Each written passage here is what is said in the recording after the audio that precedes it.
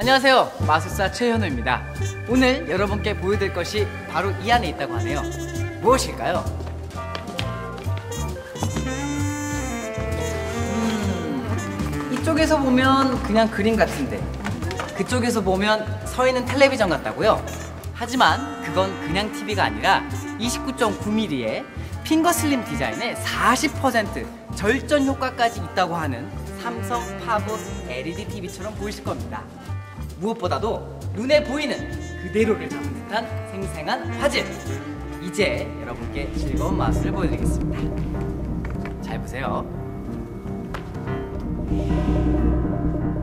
짜잔. 빈 모자입니다.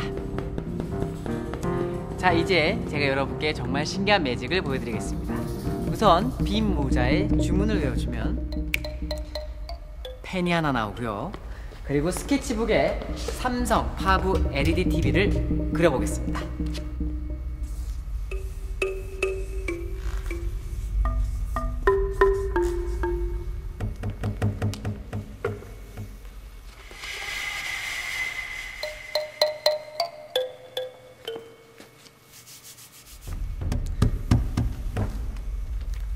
자, 이제 이 그림 앵무새를 진짜 살아있는 앵무새로 바꿔보죠.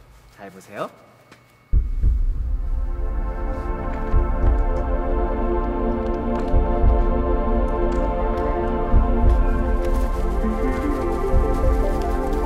이 앵무새 이름은 하이퍼리얼입니다. 자, 이제 여러분께 오늘 보여드릴 마지막 마술은요. 바로